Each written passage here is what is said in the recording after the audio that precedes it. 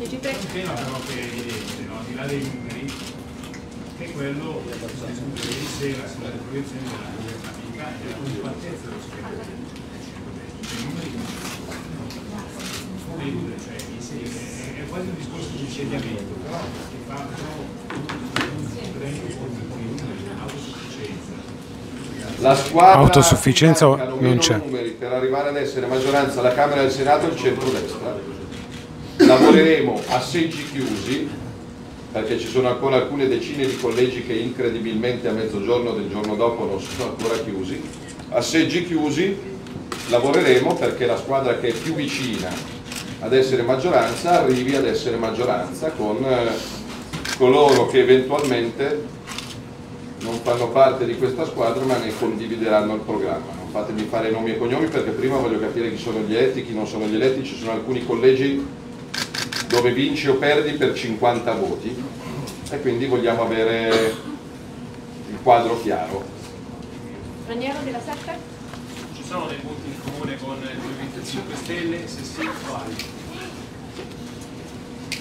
Il Movimento 5 Stelle ha cambiato idea troppe volte su troppi temi penso al tema immigrazione, penso al tema rapporto con l'euro, con l'Europa, sembra che Di Maio abbia più a cuore avere buoni rapporti con le burocrazie e i potentati europei, però ripeto, gli italiani hanno votato, il primo partito è il 5 Stelle, quindi questo va evidentemente sottolineato. Noi abbiamo chiesto la fiducia degli italiani per cambiare il Paese con un programma che è quello del centrodestra e con questo programma vogliamo governare.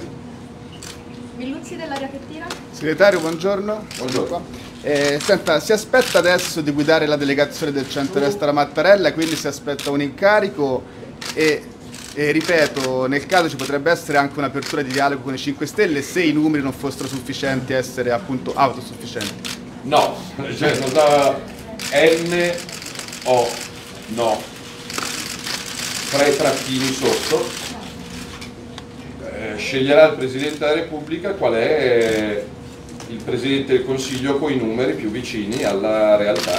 Quindi non, do, non ho mandato liste di ministri via mail e non do suggerimenti. E quindi attendiamo forti, ripeto, di un risultato che sfido chiunque, ecco, c'è questo esercizio verità, qualcuno qua dentro avrebbe pronosticato la Lega al 18%? Grazie. Ma giorni di Re Per chi ci guarda da casa non si è alzata ma anche una mano, giustamente. Volevo chiedere se è un pochino deluso proprio nell'ottica della coalizione dei risultati di Forza Italia e di Fratelli d'Italia. No, ognuno ha fatto il suo. Sono strafelice per il risultato della Lega, però siamo una squadra e con gli amici che fanno parte di questa squadra cominciamo un percorso. Federica Valenti. Sì lei rivendica la premiership e si è sentito Berlusconi eh, no, all'interno della coalizione come era da Patti e si è sentito Berlusconi e la Meloni.